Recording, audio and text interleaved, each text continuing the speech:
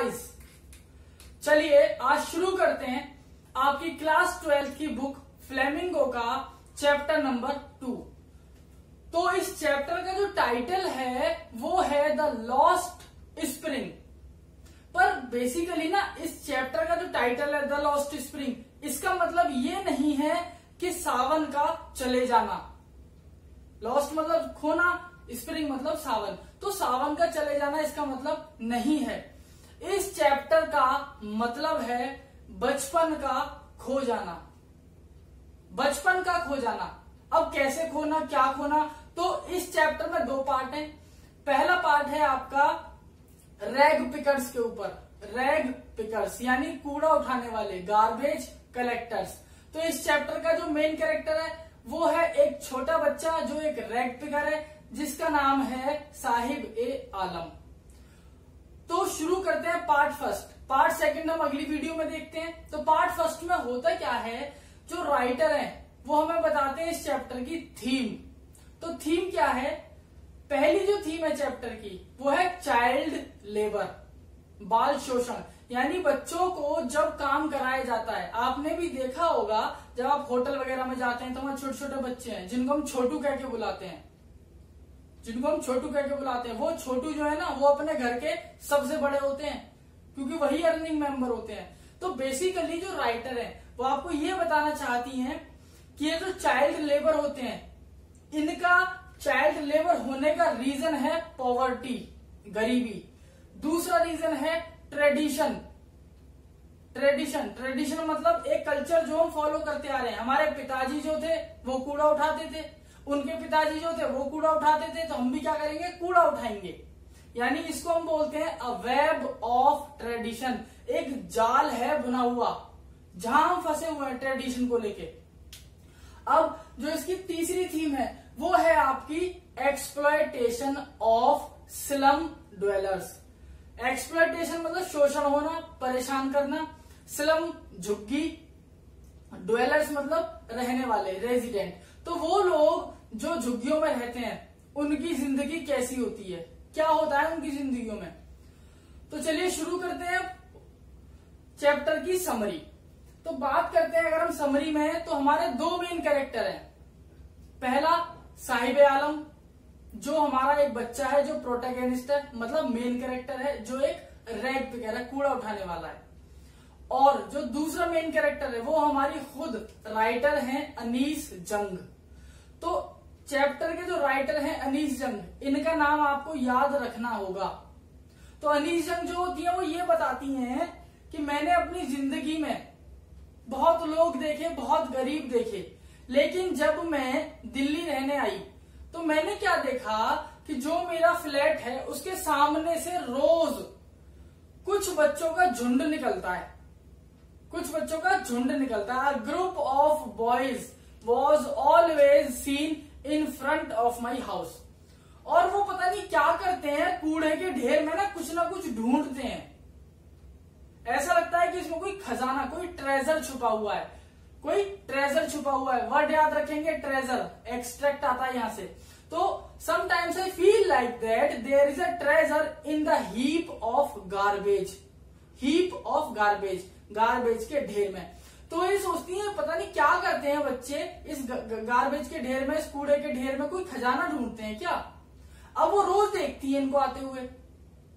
एक दिन होता क्या है, ये, इन बच्चों को ना पकड़ लेती हैं। अब पकड़ने का मतलब ऐसे नहीं, चुड़ैले तो पकड़ लिया। पकड़ने का मतलब उनसे पूछती हैं हाँ भाई, क्या ढूंढ रहे हो उसमें तो सब एक दूसरे की तरफ़ देखते हो तीन चार बच्चों का झुंड एक दूसरे की तरफ़ देखता है। तो साहिब आलम रिप्लाई करता है। हम ना जी, पैसे ढूंढते हैं इसमें। पैसे मिलते हैं हमें इसमें। अच्छा कब मिलते हैं? रोज मिलते हैं? ना जी, रोज ना मिलते। समटाइम्स आई फाउंड अ रूपी इन द गार्बेज कभी कभी मुझे इस कूड़े में पैसे मिल जाते हैं। और यही आपके इस चैप्टर के पार्ट वन का टाइटल है। Sometimes I found rupee in the garbage और यही आपका मोस्ट इंपोर्टेंट एक्सट्रैक्ट है। कि मुझे कभी कभी ना कुछ पैसे मिल जाते हैं। कभी एक रुपया, कभी दो रुपए और मैडम जी कभी कभी तो मुझे सोने के सिक्के भी मिल जाते हैं। यानी सोने का टुकड़ा मिल जाता है। पर असल में सोने का टुकड़ा नहीं है। सोने के टुकड़े का मतलब है दो रुपए से ज़्यादा, तीन रुपए पाँच रुपए दस रुपए ये भी मिल जाते हैं मुझे। तो बच्चा क्या कहना चाहता है? बच्चा ये बताता है कि ये जो सिक्के हैं ना, ये जो पैसे मुझे मिल रहे हैं, ये सोने से कम नहीं है मेरे लिए। It is not less than the worth of gold अब जब वो ये बात सुनती है, वो शौक रह जाती है कि छोटा सा बच्चा क्या कह रहा है? कि मतलब सिक्के जो है वो सोना है इसके लिए। अब वो पूछती है, वो असलियत में इसका रीजन जानना चाहती है कि बच्चा ऐसे क्यों कह रहा है तो वो ये पूछती है आते क्यों तुम ये कूड़ा उठाने। कौन कहता है तुमसे कूड़ा उठाने के लिए? अरे मैडम जी, मम्मी पापा कहते हैं। हमारे पेरेंट्स भेजते हैं कूड़ा उठाने के लिए। अब उन्हें लॉजिक समझ में आता है। लॉजिक ये है कि बच्चे के, बच्चे का मन नहीं है आने का। वो पूछती है, तुम्हारा मन करता आने का? नहीं जी, हमारा मन नहीं करता आने का। हम तो बस पैसे के चक्कर में आ जाते हैं। मतलब बच्चे जो है वो पैसों के चक्कर में आ रहे हैं, लेकिन जो माता पिता हैं, जो पेरेंट्स हैं, वो पॉवर्टी की वजह से या ट्रेडिशन की वजह से इन बच्चों को भेजते हैं और जो कुछ भी इन्हें ये कूड़ा इकट्ठा करने के बाद मिलता है, वही इनके लिए सोना है, वही इनके लिए गोल्ड है पेरेंट्स के लिए। क्यों? क्योंकि इसी से ये अपने घर का लाइवलीहुड जीवन यापन, यानी अपने घर का खाना पीना चलाते हैं। इसके बाद वो ये पूछती है इनसे कि अच्छा ये बताओ तुम रहते कहा मैडम, हम रहते हैं सीमापुरी, दिल्ली में। तो सीमापुरी आप लोग जानते ही हैं, दिल्ली का एक 10 किलो 12 किलोमीटर की रेंज का एक एरिया है, जहाँ पर सबसे बड़ी स्लम ड्वेलिंग पाई जाती है, झुग्गी में रहने वाले लोग पाए जाते हैं, और उनका जो मेन प्रोफेशन है, वो है कूड़ा इकट्ठा करना। तो अब होता क्या है, ये थोड़ा और जानना चाहती है इनके बारे में। तो ये इन्हें पता चलता है कहीं और से। कि मैडम, ये जो बच्चे हैं ना, ये नहीं किसी और से पता चलता है बच्चे नहीं बताते, इन्हें नहीं पता कुछ भी। तो इन्हें पता चलता है कि जो सीमापुरी में ज़्यादातर लोग हैं, ये रिफ्यूजीज हैं। रिफ्यूजीज मतलब होता है मुहाजिर। मुहाजिर मतलब होता है वो लोग जो पार्टीशन के टाइम पे पार्टीशन के टाइम पे बीच में रह गए, ना हिंदुस्तान जा पाए, ना पाकिस्तान जा पाए। तो अब ये सोचती है कि अच्छा ये लोग अगर रिफ्यूजीज हैं तो साहिब को तो पता होगा। वो साहिब से पूछती हैं कि साहिब, तुमको याद है कुछ ढाका, बांग्लादेश के बारे में? कि तुम वहाँ से क्यों आ गए थे? मैडम जी, मुझे ये तो याद है कि हम वहाँ से इसीलिए आ गए थे कि वहाँ ना बहुत बड़ा तूफ़ान आया था स्टॉर्म आया था वहाँ पे। और इस स्टॉर्म की वजह से ना हमारा सब कुछ everything was swept away by the storm our field our houses everything हमारे घर, हमारे खेत उस तूफ़ान ने बर्बाद कर दिए। तो हमारे घर वाले यहाँ पर आ गए। अब कब, क्यों, कैसे आए, ये मुझे नहीं पता। वो कहती है, ठीक। अब होता क्या है, ये एक दूसरे के ना धीरे धीरे फेमिलियर होने लगते हैं। इसके लिए एक वर्ड है बहुत अच्छा। दे बिकम वेल एक्विंटेड एक्विंटेड का मतलब होता है पहचान बनना फेमिलियर होना, दोस्ती होना। तो ये बहुत अच्छे से एक दूसरे को जान जाते हैं। तो जो अनीस जंग है, वो साहिब से पूछती हैं अच्छा साहिब, एक बात बताओ। तुम बेटा स्कूल क्यों नहीं जाते? मैडम जी, जाऊँ कहाँ से? पैसे ही नहीं है। पैसे नहीं है मेरे पास। वो पूछती है अच्छा अगर मान लो मैं तुमसे कहूँ कि मैं एक स्कूल खोलूँगी तो क्या तुम पढ़ने आओगे? मैडम जी, बिल्कुल आऊँगा। बिल्कुल आऊँगा, आप स्कूल खोलो। अब वो क्या कहती है, ठीक है, मैं तुमसे आज एक प्रॉमिस करती हूँ कि अगली बार जब तुम मुझे मिलोगे तो मैं तुम्हारा एडमिशन करा दूँगी। लेकिन ये बात राइटर ने मज़ाक में कही थी इन जोकिंगली वो ये देखना चाहती थी, ये सिर्फ़ कूड़ा उठाने में ही मस्त है, या फिर ये पढ़ना भी चाहते हैं। Even they want to get taught और they are indulge in getting collecting the garbage तो अब वो मज़ाक में तो कह देती है, लेकिन अगली बार जब इनका एनकाउंटर होता है, अभी एनकाउंटर वो नहीं गोली वाला एनकाउंटर का मतलब आमना सामना जब इनका आमना सामना होता है साहिब से तो साहिब का पहला सवाल, मैडम जी, कब से आना है स्कूल? जैसे ही अनीस जंग ये बात सुनती हैं, वो शर्म से पानी पानी हो जाती हैं। उन्हें ऐसा लगाता है कि ये तो लफंगे हैं। They are vagabond vagabond का मतलब होता है लफंगे। मुसाफिर है इधर से उधर घूम रहे हैं मौज मस्ती में घूम रहे हैं, कोई मतलब नहीं है पढ़ाई से। लेकिन साहिब सवाल ठोक देता है, मैडम, कब से आना है स्कूल? तो ये क्या सोचती है? मनी मन में। ये कहती है हाँ ठीक, मैं बताऊँगी। लेकिन मनी मन क्या सोचती है? कि the promise in this bleak और unreal world are meant to be broken मतलब वर्ड है ब्लीक ब्लीक का मतलब होता है अनरियल अनरियल मतलब मायावी। यानी ये जो पूरी दुनिया है ना, ये ढोंग कर रही है डिप्लोमेसी कर रही है। सब झूठ बोल रहे हैं एक दूसरे से। तो ये कहती है, अपने आप से ही कि प्रोमिस जो होती हैं, जो हम एक दूसरे से करते हैं, इस मायावी दुनिया में, इस झूठी दुनिया में, ये सारी प्रोमिस तोड़ने के लिए बनी है। तो मैंने अगर एक प्रॉमिस कर दी और वो टूट गई तो मैंने कुछ गलत नहीं करा। इसके बाद जब इनका अगला एनकाउंटर होता है तो वो साहिब से पूछती है, बेटा, एक बात बताओ। तुम्हारे जो नाम है साहिब ए आलम, इसका मतलब क्या है? साहिब ए आलम। इसका मतलब क्या है? साहिब कहता है, अजीब पता ना। मैडम जी, मुझे नहीं पता। मेरे नाम का मतलब क्या है? वो शौक रह जाती हैं। शौक एकदम।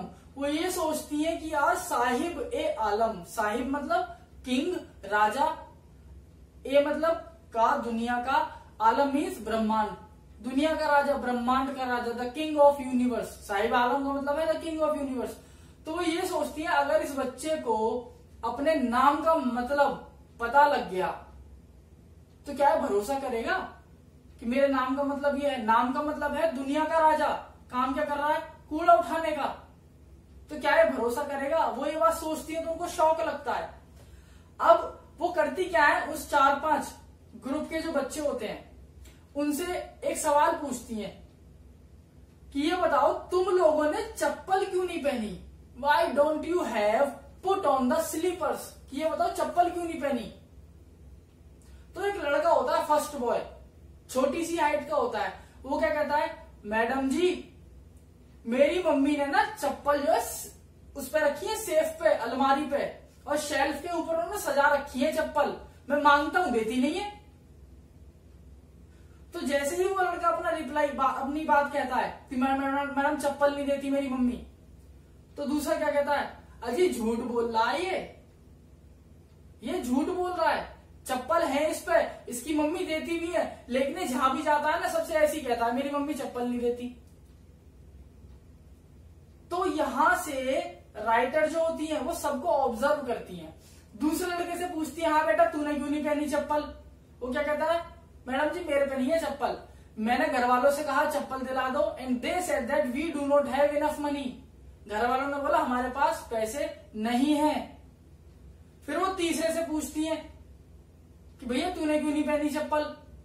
तो वो क्या कहता है ma'am I do not put on the slippers because no one at my homes puts on मैं इसीलिए नहीं पहनता क्योंकि मेरे घर में कोई भी नहीं पहनता।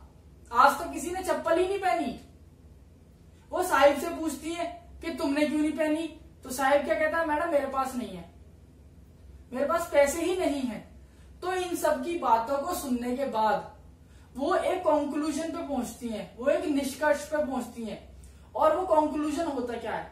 वो ये बताती हैं अपने आप को ही कि कुछ बच्चे तो ऐसे हैं जो सच में गरीब हैं। यानी फ्यू आर रियली पुअर कुछ वो है जो सच में गरीब है। जिनके पास पैसे नहीं है ना, वो सच में गरीब है।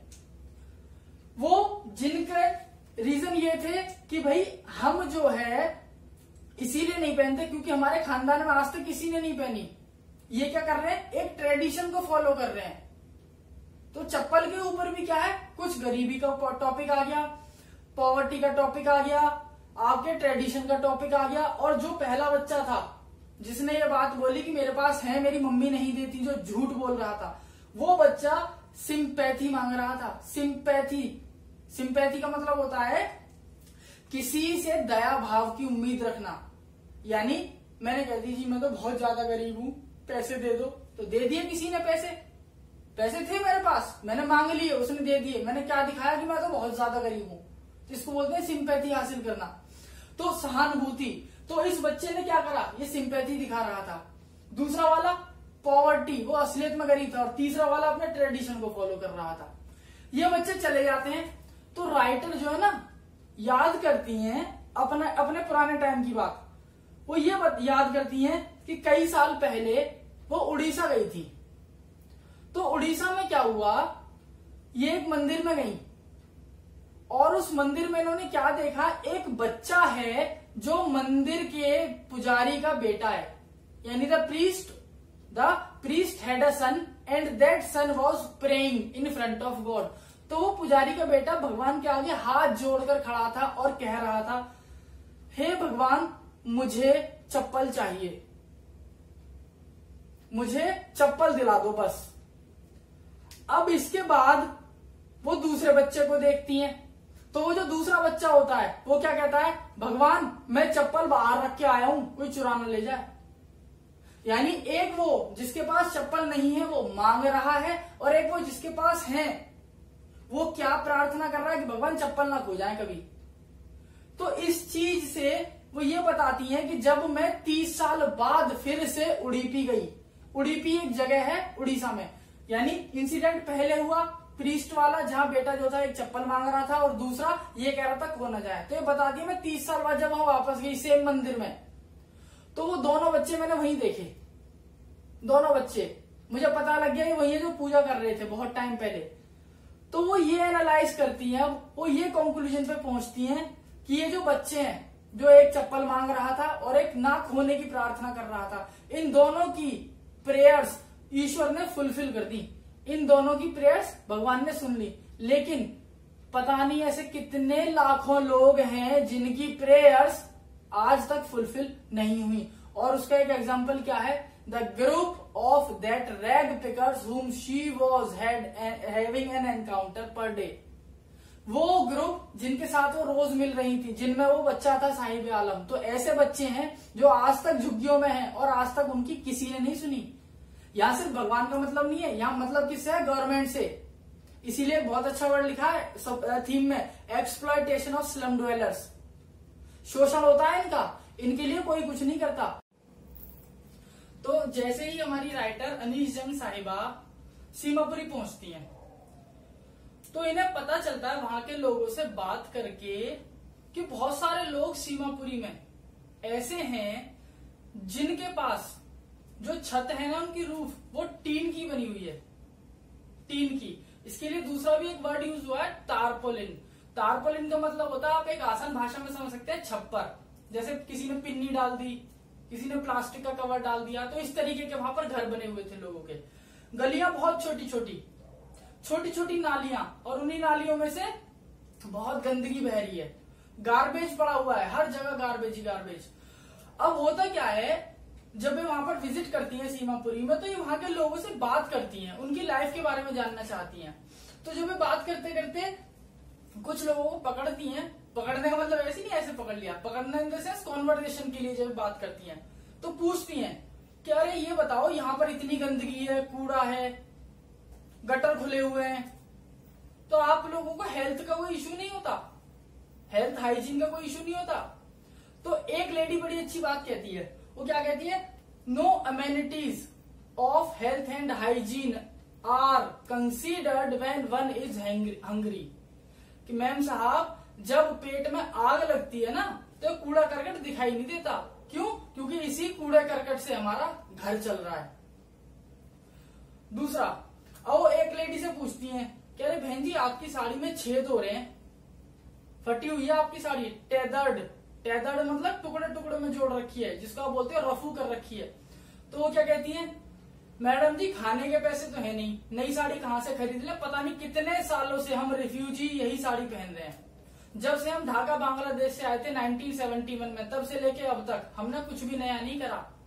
हमारा मकसद बस इतना रहता है कि हमारे बच्चे खाली पेट ना सोए, भूखे पेट ना सोए। इसके बाद राइटर एक लेडी को पकड़ती है। तो वो इनसे पूछती है कि अच्छा आप बताओ, आपको खाने के लिए मिल जाता है कुछ? राशन वगैरह, चावल वगैरह? तो एक लेडी क्या कहती है? मैडम जी, राशन कार्ड ही नहीं है। अच्छा वोटर आईडी कार्ड तो होगा, वोट तो डालते ही हो। मैडम, वो भी नहीं है। बहुत कम लोग हैं जिनके पास ये है। राइटर का पहला क्वेश्चन फिर से। तो आपके पास क्यों नहीं है राशन कार्ड और वोटर आईडी कार्ड? अब एक लेडी क्या रिप्लाई करती है? मैम साहब, हम यहाँ पेट भरने आए थे। राशन कार्ड और वोटर कार्ड लेने नहीं आए थे। राशन कार्ड का और वोटर कार्ड का करेंगे क्या? जिनके पास है, उन्हें नहीं मिल रहा, हमें तो तब मिलेगा।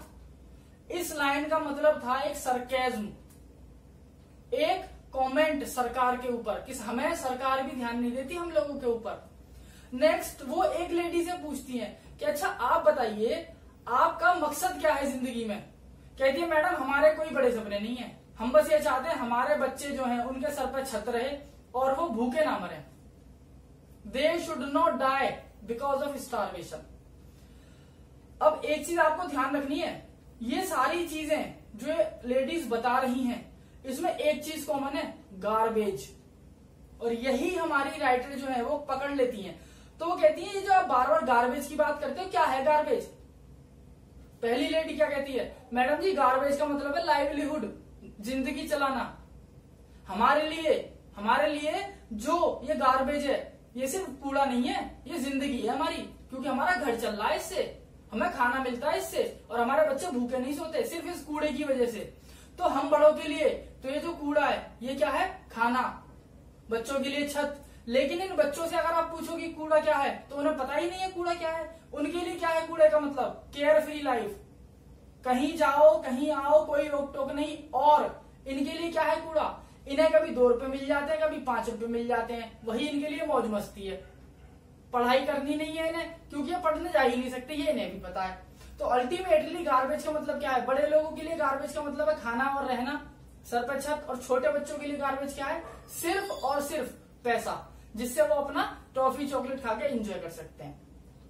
इसके बाद वो बात करती हैं राइटर जो है कि जब मैंने उन लेडी से बात करी तो मेरा जो कंक्लूजन था, अब उनकी बातें सुनने के बाद गार्बेज के ऊपर, मैं ये मान सकती हूँ और ये हंड्रेड परसेंट गारंटी के साथ कह सकती हूँ कि garbage is an art garbage एक कला है अपने आप में, यानी कूड़ा इकट्ठा करना, उसको फिर अच्छी चीज़ में बनाना और फिर उसी गंदी चीज़ को अच्छी चीज़ में बनाने की, उस प्रोसेस के बीच में अपने घर को चलाना, अपने बच्चों को पालना, अपने सपनों को मारना, फटी हुई साड़ी में रहना, इतनी गंदगी में रहना, बच्चों को ना पढ़ाना, ये सब कुछ क्या है? गार्बेज यही कला है। बच्चे पढ़ने नहीं जा रहे, ये भी एक कला है। गरीबी है ना भाई? बच्चे जो है, वो कूड़ा उठा रहे हैं, ये भी एक कला ही है। क्यों? क्योंकि फिर से मजबूरी बात आ जाती है हेल्पलेसनेस आ जाती है। हेल्पलेसनेस पॉवर्टी अनएम्प्लॉयमेंट इसके बाद जो राइटर हैं, वो अपने घर चली जाती हैं और बहुत उदास होती हैं वो। तो कुछ दिन बाद उनको साहिब आलम फिर से दिखाई देता है। तो वो साहिब से पूछती है अच्छा साहिब, बेटा मुझे एक बात बताइए आप कि ये जो आपके पैरों में जूते हैं, ये आज से पहले तो नहीं थे, अब कहाँ से आए? तो साहिब क्या कहता है, मैडम, वो एक बराबर में पार्क है ना? There is a park nearby where the rich man play tennis, वहाँ पर वो कुछ अमीर आदमी, पता नहीं क्या, वो बल्ले बल्ले से लेके ना खेलते रहते हैं। तो उनमें से एक दिन हम वहाँ खड़े होकर बाहर देख रहे थे।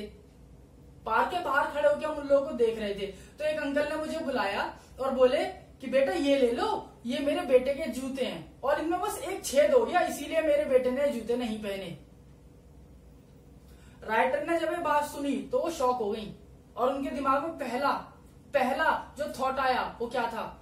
कि किसी अमीर आदमी के एक बेटे ने वो जूता क्यों फेंक दिया? क्योंकि सिर्फ़ उसमें एक छेद था। होल। एक होल था। लेकिन लेकिन इस बच्चे की साहिब आलम की ज़िंदगी में जो छेद है शायद वो जूता ये छेद भर दे। वो छेद जो एक जूते में था जिसको किसी ने फेंक दिया और साहिब को दे दिया। अब साहिब की ज़िंदगी में एक छेद नहीं है कई छेद है। उसके पास जूता नहीं है खाना नहीं है कपड़ा नहीं है। बहुत छेद है इसकी ज़िंदगी में। तो एक छेद एक छेद ने भर दिया। A hole filled a hole उसको जूते देखे, किसी ने उसके पैरों में कम से कम जूते तो दिए तो ये जो छेद था, ये जो दर्द था, ये तो कम होगा। तो जो राइटर है, अनीस जंग अब ये साहिब आलम को बहुत दुआएँ देती हैं और उस आदमी को भी बहुत दुआएँ देती हैं। फिर ये पूछती हैं अच्छा साहिब, ये बताओ, तुमको टेनिस तो पसंद है बहुत? तुम मुझे बता रहे थे। साहिब कहता, मैडम जी, बहुत पसंद है। तो अच्छा ये बताओ तुम खेलते हो टेनिस?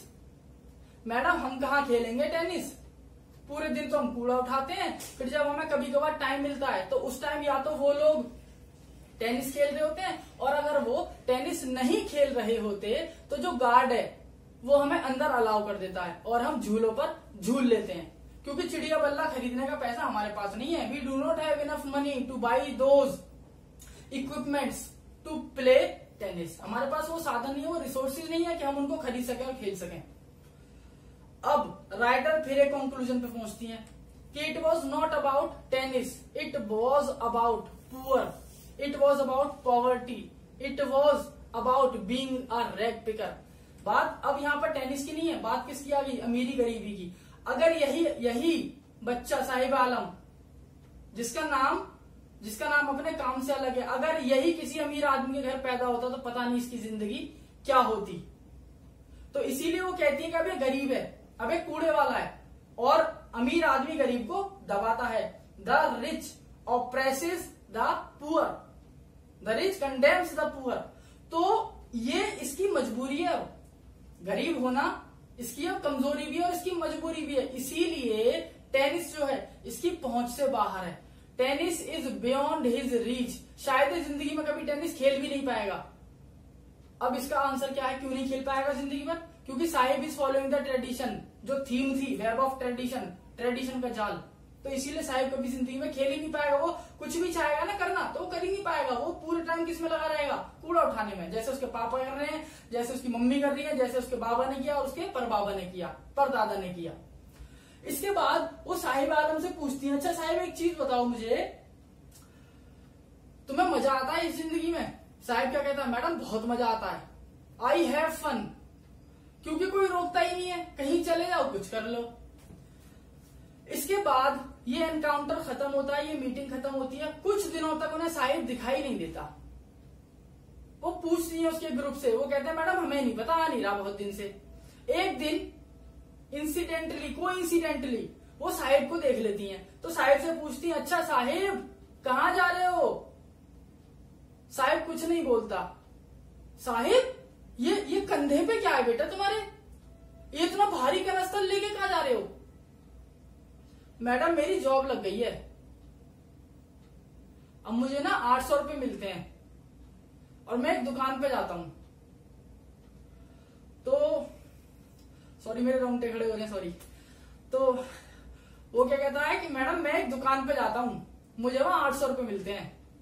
और अब मेरे माता पिता ने मुझे वहाँ नौकरी पे लगा दिया है। तो मुझे आठ सौ रुपये महीना मिल रहे हैं। और बस जा रहा हूँ दुकान पे, कनस्तर लेके चाय की दुकान पे काम करता हूँ। तो लोग वहाँ मुझे छोटू छोटू कह के बुलाते हैं। कोई साहिब छोटू कहता है, कोई छोटू साहिब कहता है। तो वो पूछती है अच्छा साहिब, क्या तुम इस नौकरी से खुश हो? तो साहिब क्या कहता है साइलेंट। क्या कहता है साहिब? साइलेंट एकदम। एक इमोजी होती है ना साइलेंट वाली, वही साहिब पेल देता है। शांत एकदम। वो समझ जाती हैं कि साइलेंस का मतलब क्या है। कहता मैडम जी, मैं जा रहा हूँ। साहिब चला जाता है। अब राइटर फिर एक लास्ट और अल्टीमेट अल्टीमेट कंक्लूजन पे पहुँचती है कि अभी जो बच्चा है ना साहिब, जो अपने कंधों पर कनस्तर लेके जा रहा है कैनिस्टर इंग्लिश में कैनिस्टर बोलते हैं, हिंदी में कनस्तर तो एक और आसान भाषा में अपनी प्योर हिंदी में वर्ड है पीपा। तो जब वो लेके जा रहा होता है तो वो क्या कंक्लूजन पे पहुँचती है? कि Saheb is no longer his own master now Saheb is no longer his own master यानी पहले साहिब अपनी ज़िंदगी का मालिक था। जो मन करता था, वो करता था बिंदास केयर फ्री अब नहीं है ऐसा। अब इसका एक टाइम शेड्यूल है कि इतने बजे से इतने बजे तक I have to be there क्योंकि मुझे आठ सौ रुपए मिलेंगे मेरे घर वालों को, मेरी ज़रूरत है। तो आसान भाषा में जो कहना चाहती हैं कंक्लूजन वो जो बताना चाहती हैं, वो कंक्लूजन ये है कि अब साहिब अपनी ज़िंदगी का मास्टर नहीं रहा। उसकी ज़िंदगी अब किसी और के हाथों में है। किसके? उस शॉपकीपर के हाथों में। उस पैसे के हाथों में। उस गरीबी के हाथों में। उस अनएम्प्लॉयमेंट के हाथों में। और ये कनस्तर नहीं है। ये कनस्तर नहीं है। ये साहिब क्या लेके जा रहा है? अपना लॉस्ट स्प्रिंग क्या लेके जा रहा है साहिब? लॉस्ट स्प्रिंग अपना बचपन लेके जा रहा है इन कंधों पे। जो खो चुका है ना बचपन, साहिब उसको लेके जा रहा है। और क्या लेके जा रहा है साहिब? घर की जिम्मेदारियाँ द रेस्पॉन्सिबिलिटीज ऑफ़ हाउस और क्या लेके जा रहा है साहिब? रेस्पॉन्सिबिलिटीज ऑफ़ हाउस लेके जा रहा है। ठीक। इसके अलावा अपने कंधों पर वो जिम्मेदारियों का बोझ लेके जा रहा है। ठीक। और क्या लेके जा रहा है साहिब? इमेजिन कर सकते हैं आप। यहाँ से क्वेश्चन आता है एक्सट्रैक्ट कि अगर आप साहिब होते तो आप क्या करते? आप क्या सोचते? आप क्या महसूस करते? तो हम क्या लेकर जाते? हम जिम्मेदारियाँ तो लेकर जा रहे हैं, लेकिन हम अपना बचपन खो के जा रहे हैं। हम अपने मस्त मौला ज़िंदगी वाले दिन खो के जा रहे हैं।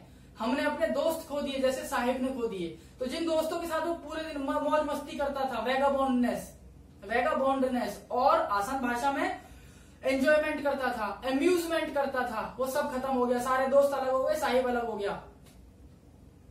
सारे दोस्त अलग, साहिब अलग। अब साहिब का रेस्पॉन्सिबिलिटी है। अब साहिब अपने घर का बड़ा बन चुका है। Saheb has become the eldest member of his family even even he has his mother and father on his head उसके सर पर माँ बाप का हाथ है, लेकिन अब सबसे बड़ा कौन है? साहिब। क्यों? क्योंकि साहिब अब कमा रहा है। एक बच्चा कमा रहा है। तो इस तरीके से साहिब ने सिर्फ़ अपना सिर्फ़ अपना केयर फ्री दिन नहीं खोए, अपने केयर फ्री डेज़ नहीं खोए, अपने दोस्त नहीं खोए, जिम्मेदारियाँ नहीं ली साहिब ने अपना क्या खो दिया? बचपन खो दिया। और that is your title the lost spring तो लॉस्ट स्प्रिंग का मतलब सावन जाना नहीं है। लॉस्ट स्प्रिंग का मतलब है किसी का बचपन जाना इस चैप्टर के हिसाब से। तो इस चैप्टर में किसका बचपन गया? साहिब आलम का। तो चैप्टर खत्म होता है। I was getting emotional sorry for that but chapter ही ऐसा था। तो यही चीज़ें हैं जो चैप्टर में आती है। कि भाई क्यों हुआ, कैसे हुआ, अगर आप साहिब होते तो क्या होता, आप अनिश जंग की जगह होते तो क्या होता, या आपके आसपास इस तरीके के बच्चे हैं तो आप उनके लिए क्या करते हैं? तो ये है आपके वैल्यू बेस्ड क्वेश्चन और ये आपकी बुक में से बहुत आते हैं। बहुत आते हैं। फ्लेमिंगो में से बहुत आते हैं ऐसे question so guys thank you very much मिलते हैं